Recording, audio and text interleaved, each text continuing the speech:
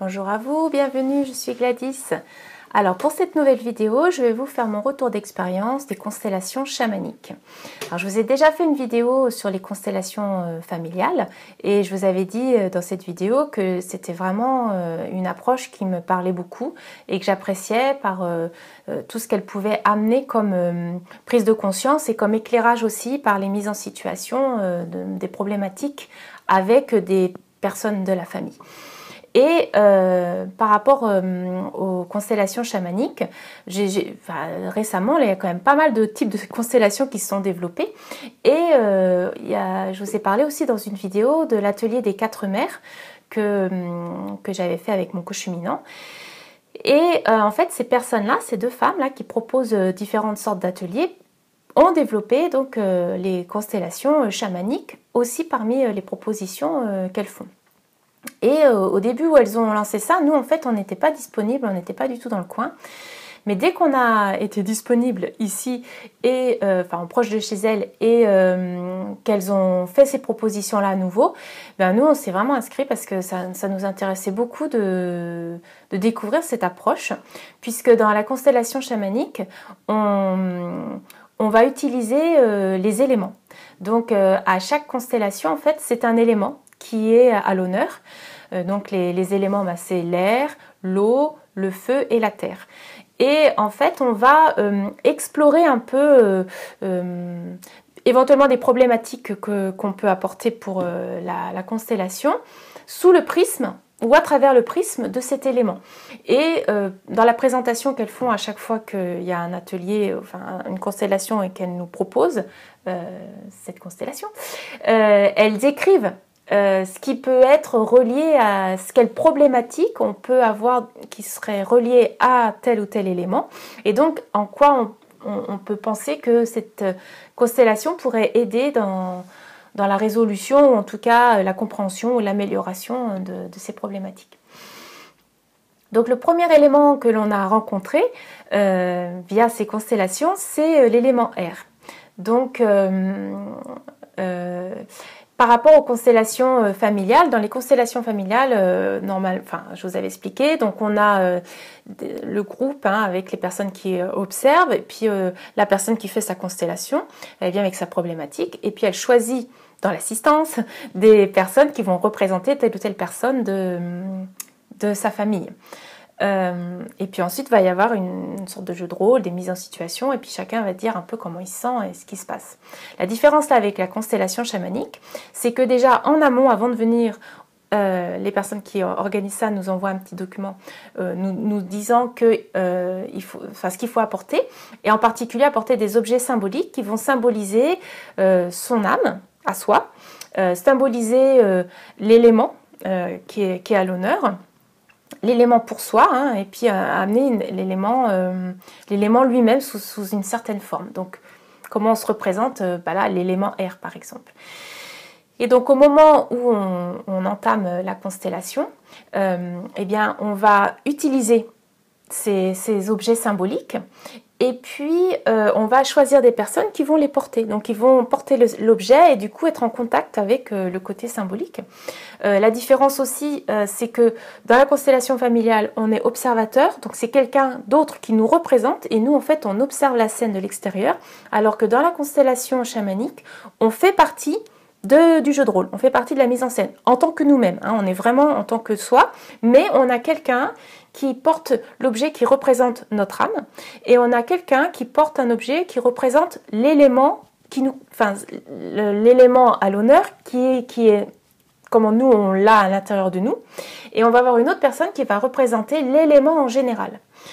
Une personne qui va représenter aussi les ancêtres, mais donc une seule personne, c'est pas comme la constellation euh, familiale, pardon, où on va avoir euh, une personne euh, pour, pour un membre de la famille. Là, c'est une seule personne qui va à elle-même concentrer les ancêtres et par rapport, ou le rapport des ancêtres dans, dans cette constellation par rapport à l'élément. Voilà, les éclairages que ça peut amener.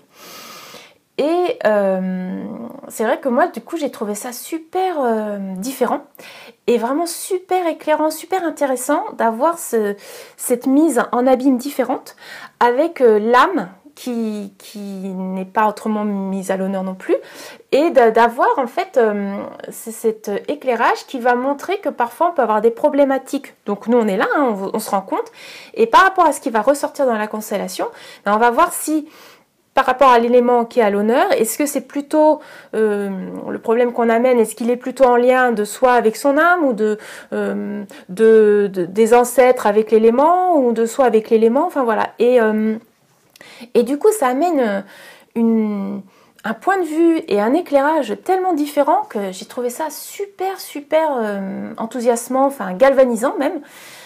ça m'a vraiment beaucoup, beaucoup emballé, enthousiasmé.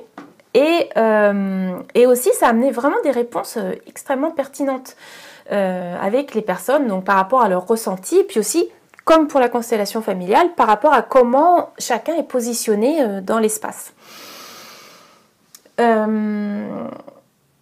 Alors, pour la constellation familiale, on a sa séance, on fait sa constellation, puis après on fait les constellations d'autres. Hein. Alors que là, pour la constellation chamanique, en fait, ça se fait en, trois temps.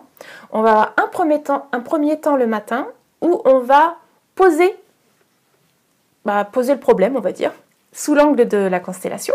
Donc chacun, nous on était huit, hein, pas même dans, quand, si on était huit. Voilà, pour limiter, pour que non plus ça ne dure pas des heures et que chacun puisse passer. Donc, euh, donc chacun passe le matin en posant, donc voilà, avec son objet, machin, euh, en posant les personnes, en étant dans, sa constellation. Et puis, donc, on voit déjà un peu comment il y a une première, première évolution qui, se met en place, hein, des choses qui bougent. Et puis, l'éclairage de où se trouve la tension la plus importante par rapport euh, à cet élément-là. Est-ce que c'est, comme je vous disais, soit avec l'âme, euh, soit ou avec les ancêtres, les ancêtres avec l'élément, ou soit avec l'élément, bref. Et puis, on, on stoppe là. Il y a un moment comme si on faisait euh, un arrêt sur image. Voilà, elle dit prendre la photo un peu de, ce, de ce qui est là. Et puis voilà, on a terminé pour cette première partie. Et puis on passe à d'autres personnes qui présentent leur propre mise en, situation de leur, de leur situation, enfin leur problématique à eux. Ça, c'est pour le, début, pour le matin. Ensuite, on va avoir une sorte de, proposition, comme un petit atelier, qui va nous reconnecter à l'élément.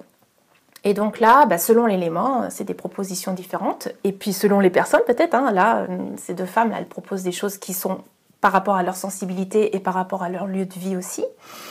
Et puis, après, on a la pause, déjeuner, très importante. Et après, donc, euh, après l'après-midi, on reprend. Et là, on refait, on reprend la constellation euh, chamanique de chacun, hein, chacun son tour, euh, où là, on, on va remettre à nouveau les mêmes personnes. Donc on, alors on peut reprendre les mêmes personnes pour représenter les mêmes choses ou on peut changer si le, feeling est différent. Si on a envie de tout d'un coup on se dit ah ben non finalement c'est telle personne que j'ai envie euh, qui représente mon âme. Euh, on peut changer, c'est pas figé. Et on repositionne à nouveau. Et là ça permet de voir ce qui a déjà changé euh, par rapport au fait que le matin, on ait déjà vu les choses, on ait mis les choses déjà en lumière, qu'on ait vu les lignes de tension. Et puis aussi les actions qu'on a mises en place par rapport à, par rapport à l'élément dans le petit atelier euh, euh, avant donc cette troisième partie. Et puis là, eh bien, on, reprend dans un déroulement où euh, entre en, entre en scène l'élément général. Hein. Donc voilà. Et avec ça, on voit si ça permet de dénouer, comment on peut délier les choses. Et euh, ce que je trouve vraiment super, euh, aussi super intéressant avec cette approche-là, c'est que du coup, euh, bah, en fait, des fois, ça s'arrête. Enfin, voilà, il y a un moment où la personne qui, qui, qui anime ces constellations, elle voit qu'on arrive au bout de, de, ce que cette constellation-là peut donner comme information. Et parfois, il y a une résolution. On sent que voilà, chacun, chaque protagoniste euh, dit que ça y est, c'est plus fluide ou se sent mieux. Donc euh, voilà, ça, permet de, dénouer vraiment le truc. Euh, soit ça permet de voir des endroits qui sont bloqués et que la constellation en elle-même ne peut pas guérir ou débloquer comme ça et qui va demander un autre travail. Donc par exemple, une constellation familiale pour le coup. Là, si c'est un truc qui est, avec les ancêtres, bah, l'outil euh, de référence, ça va être de faire, euh, on peut faire plein d'autres choses, mais là, l'outil de référence, on va dire, c'est de potentiellement faire une constellation familiale en revenant sur cette problématique qui a été mise en avant par euh, la constellation chamanique. Ou on peut se rendre compte qu'il y a une problématique avec l'âme. Euh, et du coup, là, on peut euh, faire un soin de l'âme spécifiquement par rapport à, ce qui a été mis en lumière là.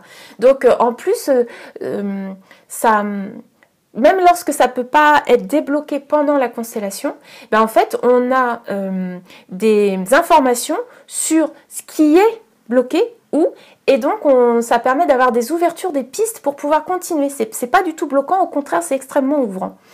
Donc moi, j'aime vraiment beaucoup. Et en plus, j'ai trouvé que c'était très très dynamique.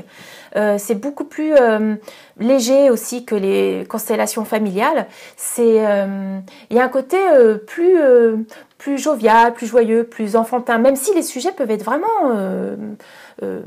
sensibles, hein. on peut vraiment toucher des zones qui qui font remonter pas mal d'émotions, mais j'ai trouvé, j'ai trouvé vraiment que c'est une l'ensemble a quelque chose de beaucoup plus euh, léger, euh, je sais pas, beaucoup plus euh, presque enfantin. C'est, voilà, c'est ce côté léger enfantin où, où ça peut être sérieux et en même temps, il y a, ça, ça amène vraiment. C'est, en fait, quelque part, c'est, un côté oui, voilà, peut-être ouvrant dans le sens aussi où ça fait prendre de la hauteur et où c'est moins étouffant, moins enfermant dans une ambiance familiale, par exemple pour une constellation familiale ou une problématique euh, qui enferme. Là, c'est vraiment ouvrant parce qu'on a plein de points de vue qui sont dans des dimensions différentes et avec aussi euh, l'élément. Et puis euh, pendant la constellation, eh bien si on voit que le contact avec l'élément en général dans la constellation fait changer les choses et améliore la situation, eh bien, euh, euh, à chaque fois, la personne qui anime euh, met en lumière ça. Elle dit, bah voilà, tu vois, avec, l'élément, bah, il peut t'aider, tu peux aller en contact avec cet élément-là pour t'aider à ceci, cela. Elle demande aussi à la personne qui représente l'élément, bah, quelle est sa ressource, qu'est-ce qu'elle peut apporter à la personne par rapport à, cette problématique. Donc, vraiment, c'est très, très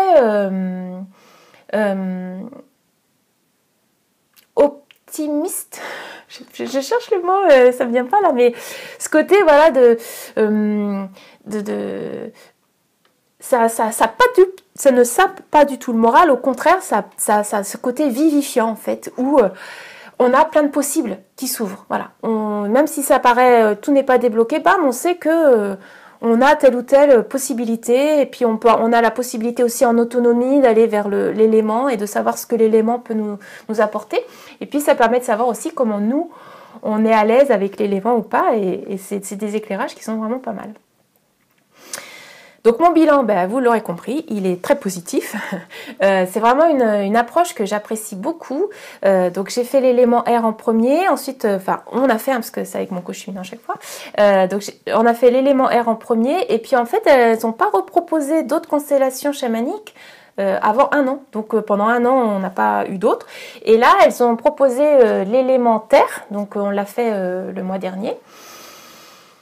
Ou il y a même deux mois. Et euh, alors bon, l'air, terre, alors là, les antipodes, c'était très très intéressant parce que là, du coup, c'était très différent euh, au niveau de, de, l'ambiance et tout.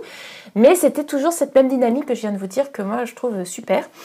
Et euh, du coup, elles font de là des séances plus rapprochées puisqu'on a une constellation proposée chamanique là à la fin de, de ce mois-ci, là où je fais la vidéo, et qui sera sur l'élément eau. Alors là aussi, moi, ça m'intéresse beaucoup parce que l'élément eau, les émotions, euh, voilà, puis l'élément eau, j'aime beaucoup de base. Euh, et donc, il, restera euh, l'élément feu. quand je lui en ai parlé la personne, qui organise ça avec avec son ami, en fait elle euh, me disait que euh, peut-être ce serait à l'automne. Donc euh, je verrai si dans les mises à jour des différentes techniques, quand j'en ai refait, si, ce sera vraiment cet automne ou plus tard. En tout cas, c'est vraiment... en fait, les constellations chamaniques, je trouve que c'est vraiment quelque chose qu'on peut refaire euh, même si on n'a pas spécialement de problématique, parce que ça permet de, faire un petit peu, déjà de, reconnecter l'élément, euh, de l'honorer aussi, hein, puisqu'on fait cet atelier, on le reconnecte et on remet de la conscience. Et puis, euh, ça permet un peu de faire une mise à jour, un peu comme on va chez le dentiste une fois par an ou chez l'ostéo. Ben là, en fait, on, fait... Enfin, moi, je me dis, faire la constellation chamanique, ben, c'est une façon de... De, de, refaire un peu le point, tiens, où j'en suis actuellement avec l'élément air, avec l'élément. Si cette approche nous intéresse, si on est sensible à ce côté des éléments, je trouve que, voilà, même sans problématique majeure ou spéciale, c'est vraiment euh, des, constellations qui, qui valent la peine d'être faites comme ça pour, euh, pour faire un point, voilà, un petit point, euh, de, voir où, on en est et puis de, remettre un peu de, carburant dans, dans, la dynamique et puis voilà, se redonner un petit peu de, gonflant pour, pour avancer. Donc si ça vous a euh, interpellé là ou intéressé euh, cette approche-là, euh, ben, c'est pas les seuls qui le font. Hein. J'en ai entendu parler par d'autres personnes. Donc vous pouvez taper sur internet constellation chamanique.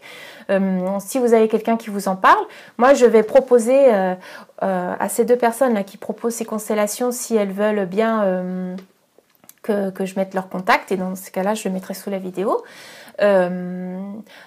Et vraiment ben, c'est vraiment une expérience à faire. Voilà. Donc si c'est quelque chose qui, vous plaît ou qui vous interpelle ou voilà qui, titille votre curiosité, ben, je trouve que c'est vraiment une expérience euh, une expérience euh, joyeuse même, hein. pas forcément dans le fond complet, mais j'en retiens moi quelque chose de, voilà qui, nourrit à, plein d'endroits euh, différents, différentes strates, et je trouve que c'est une super expérience à faire. Voilà. Donc, euh, je vous remercie pour votre présence, pour votre écoute. Euh, j'espère que vous avez passé un bon moment en ma compagnie. Et puis, je vous dis à une prochaine vidéo. Merci à vous.